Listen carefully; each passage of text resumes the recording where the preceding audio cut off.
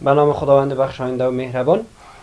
ما در درس گذشته موضوع تیف ها را خواندیم. تیف نوری تیف اتمی و گفتیم که تیف اتمی بدون هم است. تیف اتمی جذبی تیف اتمی خروجی که هر دوی از اینا تیف های خطی هستند یک عده یادواری های مهم هست که ایره شما باید داشته باشید.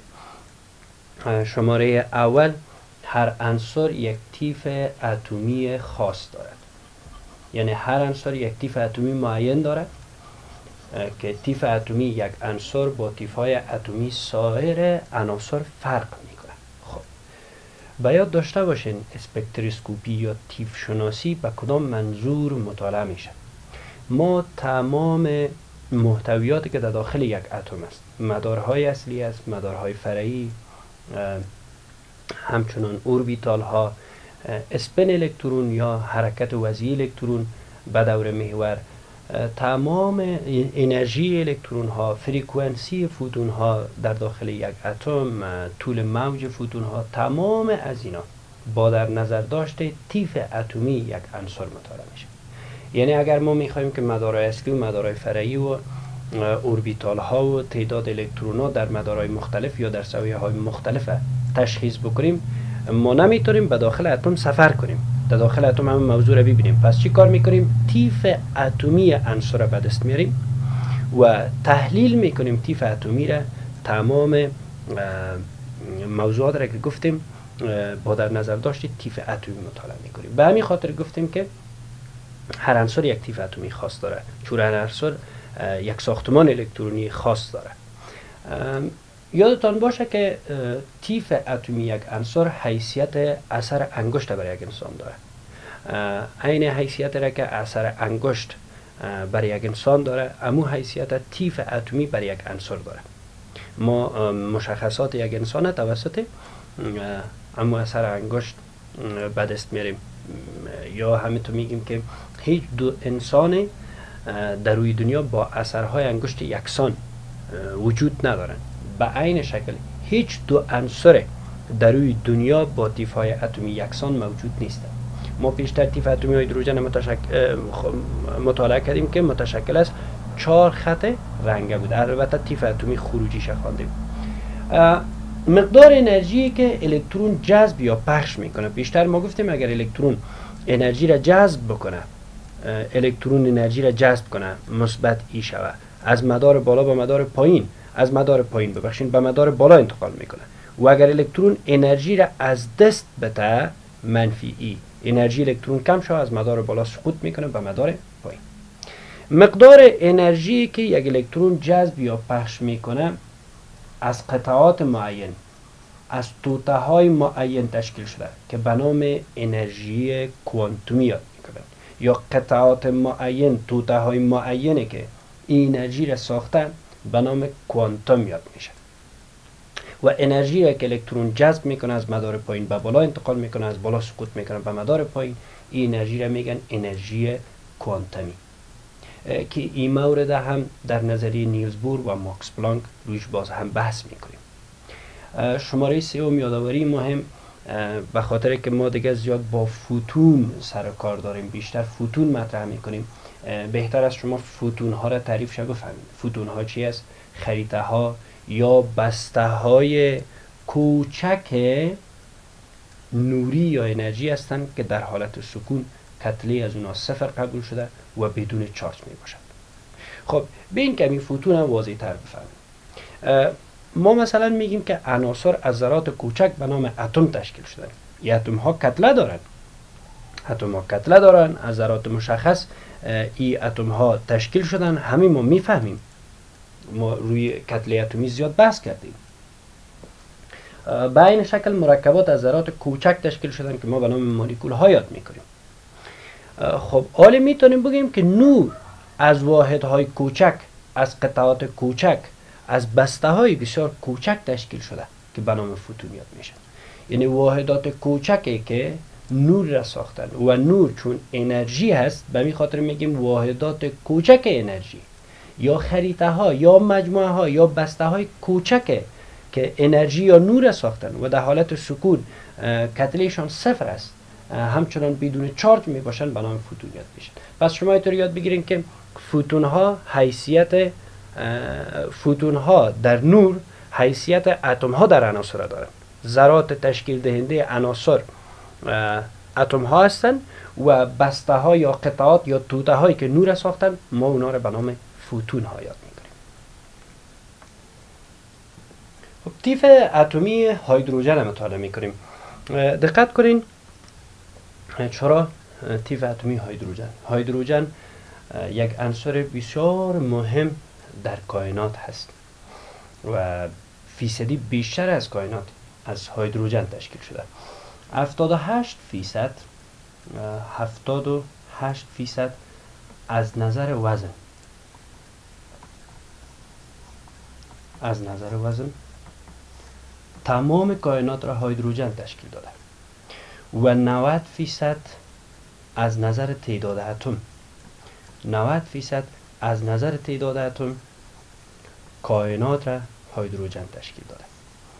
پس چون هایدروژن یک عنصر به اندازه مهم و حیاتی است به خاطر ما تیف اتمی هایدروژن مطالعه می‌کنیم. همچنان مسائل را که نیلز بور مطرح کرده بود با تیف اتمی هایدروژن کاملا مطابقت داشت و ساختمان الکترونی اتم هایدروژن بسیار خوب بیان کرده می‌تونست. اما ساختمان الکترونی اتم های چند الکترونی را نمی‌تونست توضیح بده به همین خاطر تیف اتمی هایدروژن که توسط نیلز بور با همکاری بعضی از علمای دیگه بیان شده این ما شما مورد مطالعه قرار میدیم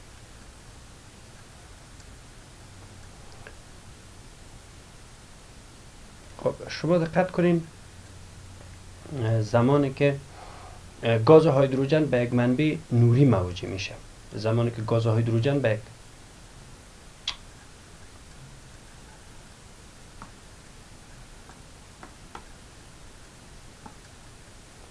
زمانی که گاز هایدروژن به یک منبع نوری مواجه میشه در ابتدا تیف جذبی واقع میشه. وقتی گاز هایدروژن به یک منبع نوری مواجه می‌سازیم در ابتدا تیف جذبی واقع میشه. بعد از او تیف خروجی و یا هم اگر گاز هایدروژن مثل پیشتر گفتیم به توسط در یک تیوب قرار بدیم در یک تیوب تخلیه باز توسط برق تحریک بکنیم نور رک هایدروژن تولید می‌کنه. و ای از من شروع بور بکنم چهار رنگ تشکیل می‌کنه که مطمئنا تیف خطی خروجی هایدروژن است. خب سوالات اینجا مطرح میشه که هایدروژن یک الکترون داره و به کدام ترتیب می‌تونه که چهار رنگ با طول موج های مختلف معین تولید بکنه.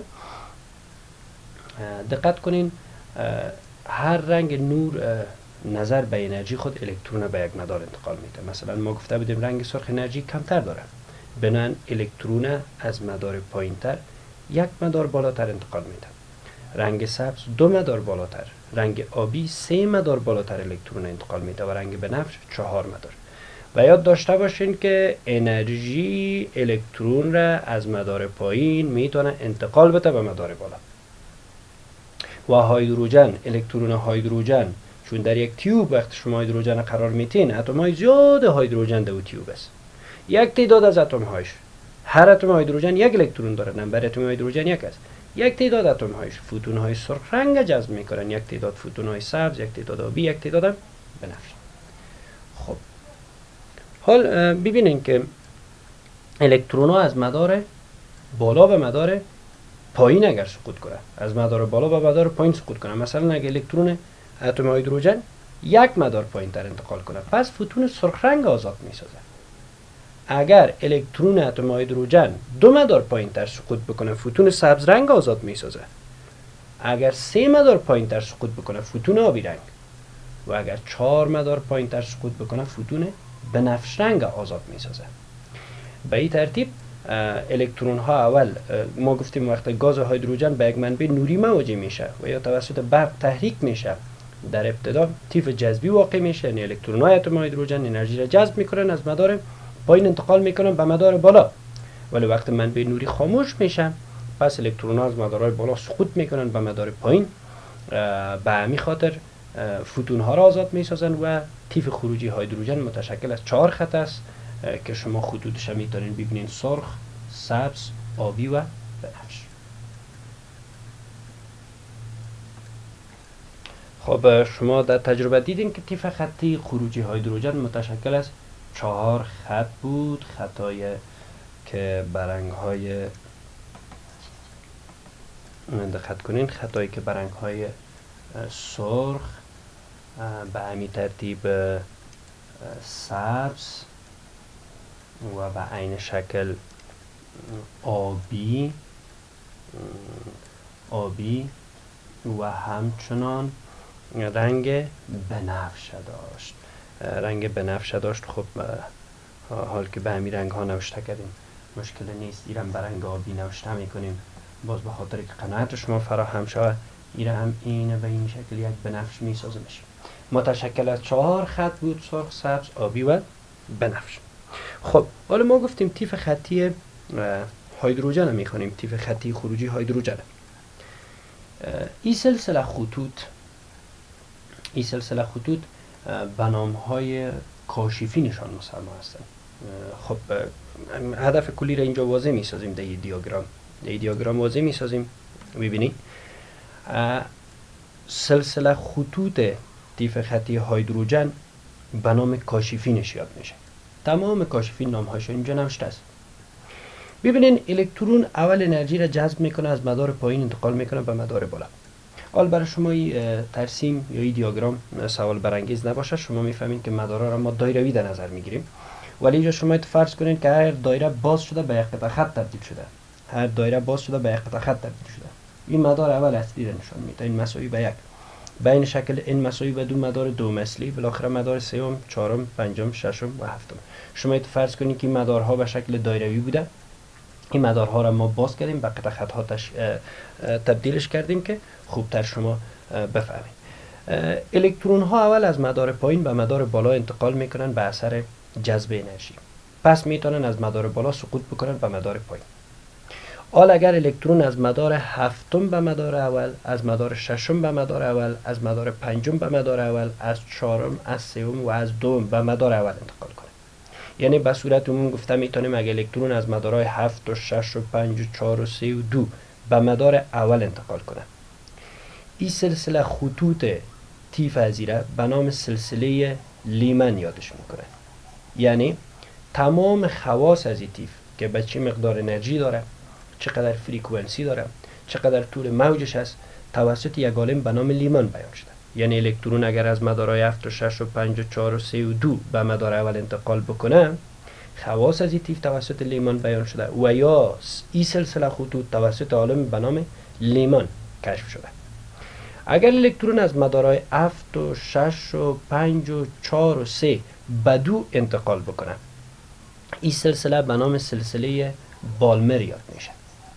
یعنی خواص تمام خواص از تیف به خصوص انرژی و طول موجشان توسط یک عالم به نام بالمر بیان شده.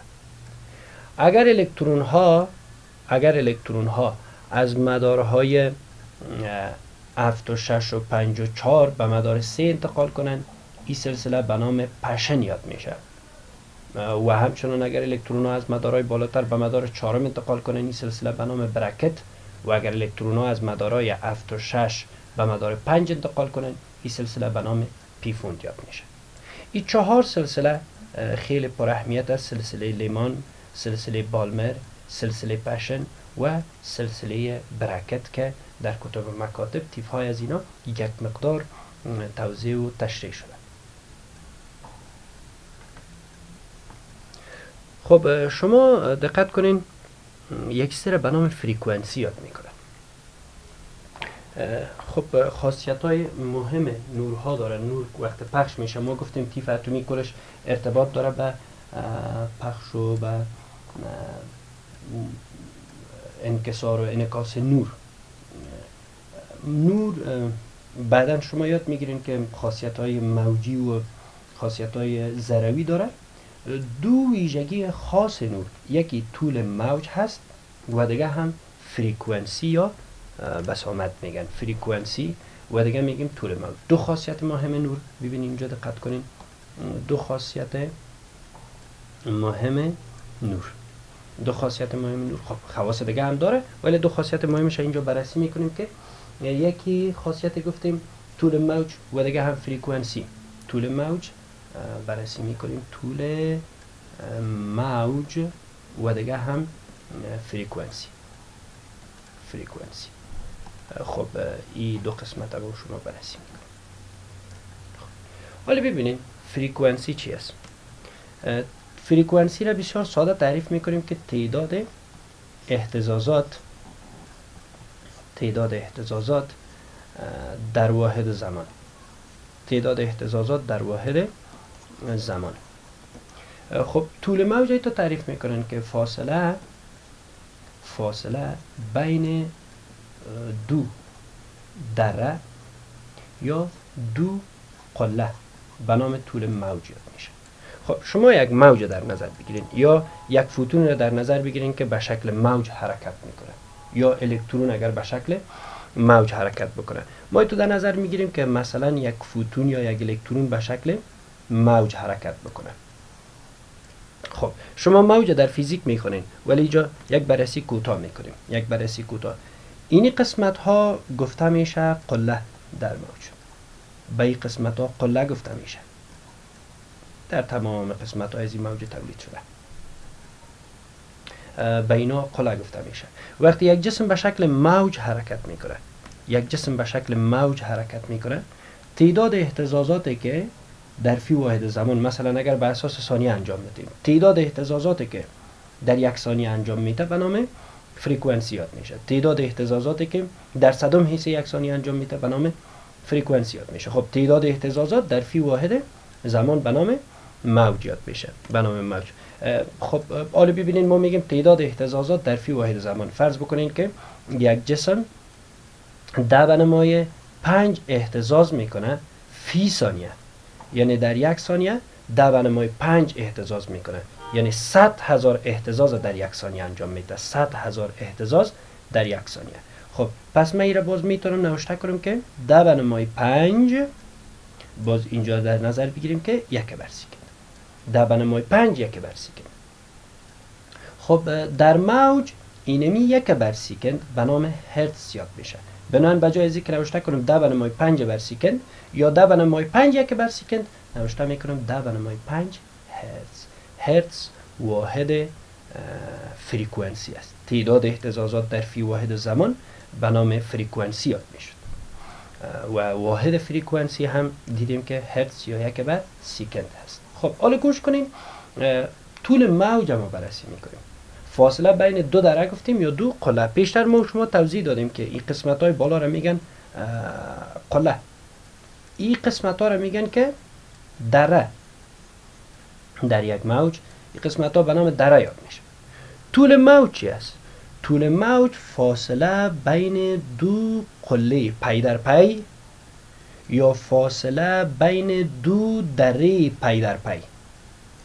به نام طول موج میشه. فاصله بین دو قله در پی در پی یا فاصله بین دو دره پی در پی به نام طول موج یاد میشه. خب شما طول موج هم فهمیدین. و فریکونسی هم فهمیدین حال فریکونسی اسپکتر خطی را ما می‌خوانیم. فریکونسی اسپکتر خطی رابطه که در کتاب مکتب برای شما نوشته به گاما نشان داده.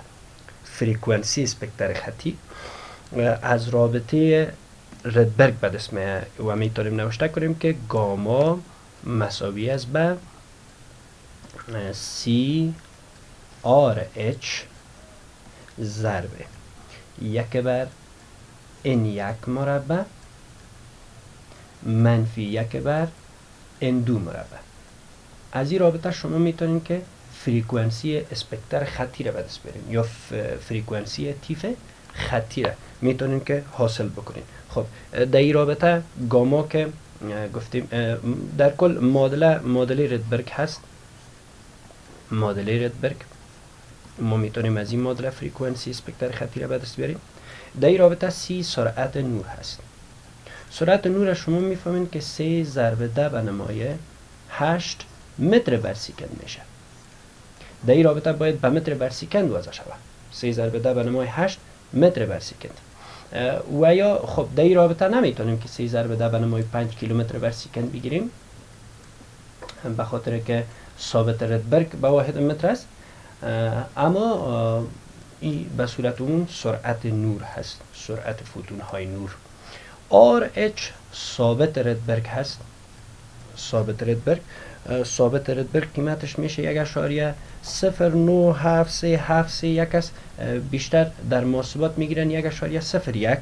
ضرب ده به نمای هفت متر به نمای منفی ما می‌تونیم از این معادله فریکونسی سپکتر خطی را به دست بیاریم فریکونسی سپکتر خطی را می‌تونیم از این رابطه به دست بیاریم خب در این رابطه ما سی را شناختیم سی را دقت کنیم سی را شناختیم ما همچنان آر اچ که ثابت ریدبرگ بود آر اچ شناختیم ثابت ریدبرگ اما اینجا برای ما یک چیز مبهم است ان یک و ان دو این دو کمیت اینا چی است شما فکر نکنین که این یک مدار اول است و این دو مدار دوم. این یک در رابطه ردبرگ این یک مدار اول نیست. این دو مدار دوم نیست.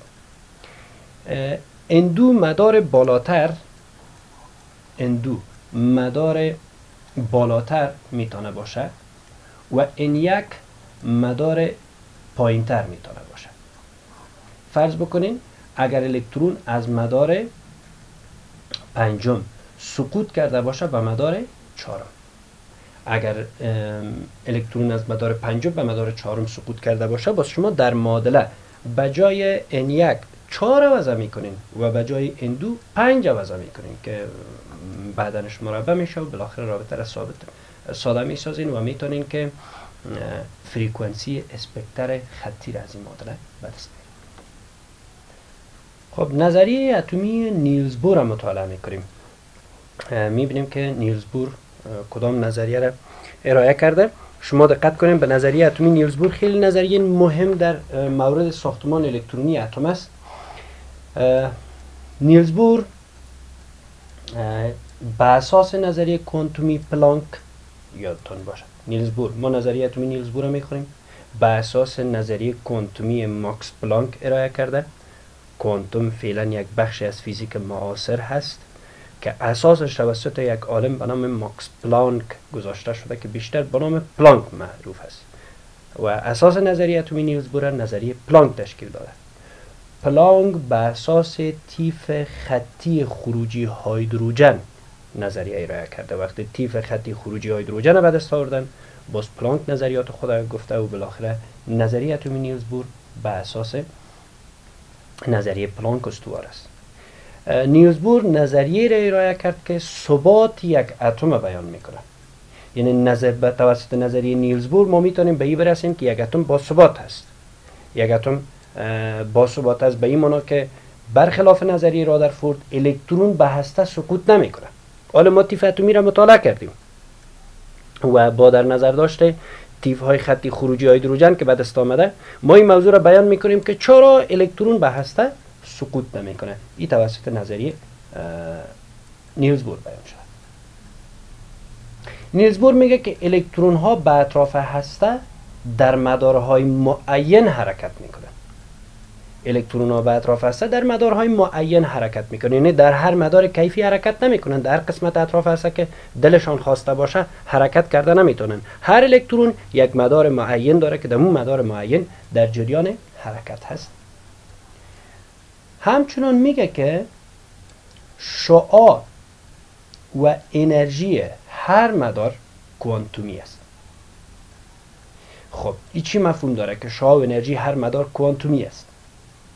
هر مدار می‌تونه که یک قیمت معین برای شعاع داشته باشه و همچنان یک قیمت معین برای انرژی خود داشته باشه. گوش کنین که انرژی و شعاع هر مدار کوانتومی است. یعنی هر مدار می‌تونه که یک قیمت معین برای انرژی خود داشته باشه یک قیمت معین برای شعاع فعلا شما شعاع یاد بگیرین فاصله مدار از هسته. فاصله مدار از هسته را ما میگیم شعاع پس شعاع و انرژی الکترون کوانتومی است. یعنی هر مدار قیمت معین برای شعاع و انرژی خود داره حال ببینین الکترون که در مدارهای نزدیک به هسته حرکت می‌کنه یا مدارهایی که نزدیک به هسته هستند انرژی کمتر دارند ولی مدارهایی که دورتر از هسته هستند انرژی بیشتر دارند پس هر قدر فاصله مدار از هسته بیشتر میشه انرژی الکترون و انرژی مدار هم افزایش پیدا می‌کنه. در اصل نیلزبور تو فکر می‌کرد که مدارها را قطعات فکر بکنیم باید. نیلزبور فرض می‌کرد که هر مدار یک قطعه معین. وقتی ما می‌گفتیم که انرژی کوانتومی است یعنی وقتی شما می‌خواین که از یک قطعه به دیگر قطعه انتقال بکنین یک مقدار انرژی معین جذب می‌کنین. اونمو انرژی معین میگن انرژی کوانتومی.